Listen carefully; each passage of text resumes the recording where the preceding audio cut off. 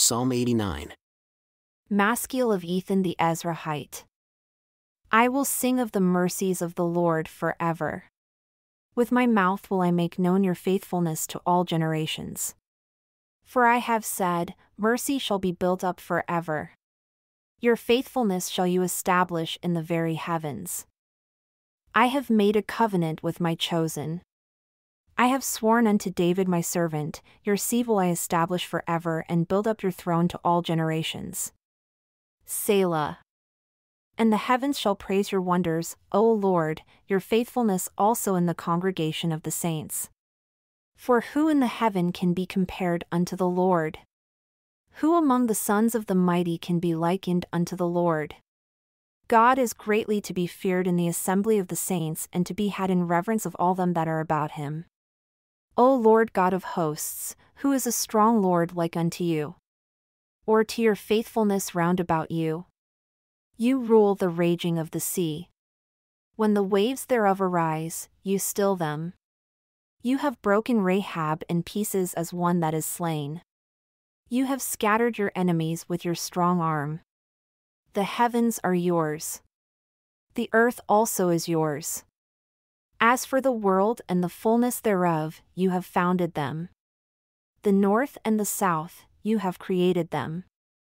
Tabor and Hermon shall rejoice in your name. You have a mighty arm. Strong is your hand, and high is your right hand.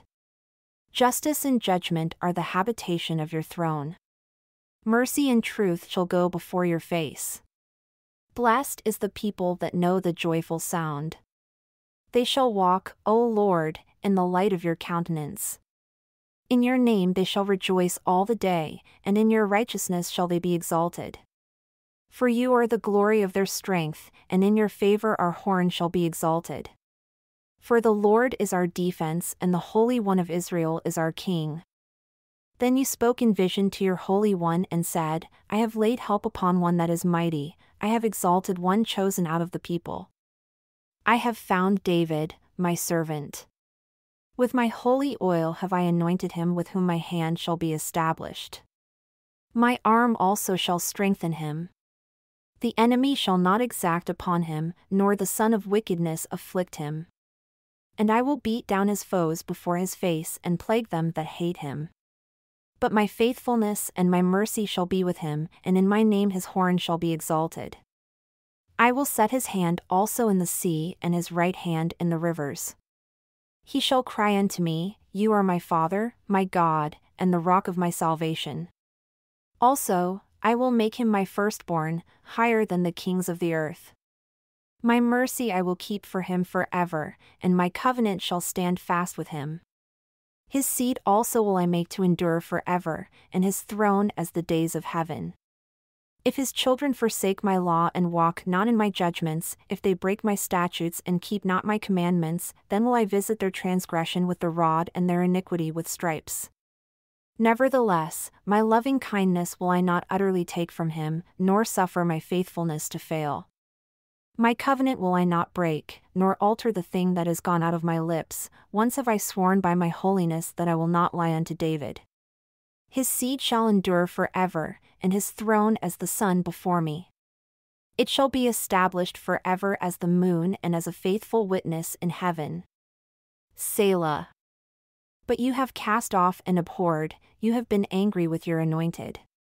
You have made void the covenant of your servant. You have profaned his crown by casting it to the ground. You have broken down all his hedges. You have brought his strongholds to ruin. All that pass by the way spoil him. He is a reproach to his neighbors. You have set up the right hand of his adversaries. You have made all his enemies to rejoice. You have also turned the edge of his sword and have not made him to stand in the battle. You have made his glory to cease and cast his throne down to the ground. The days of his youth have you shortened. You have covered him with shame. Selah.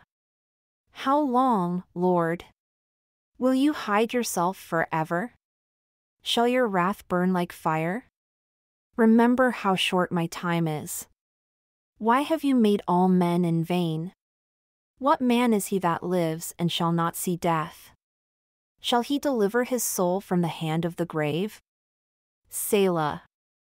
Lord, where are your former loving kindnesses which you swore unto David in your truth?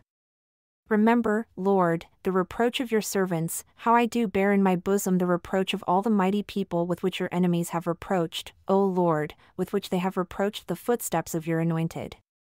Blessed be the Lord for ever. Amen and Amen.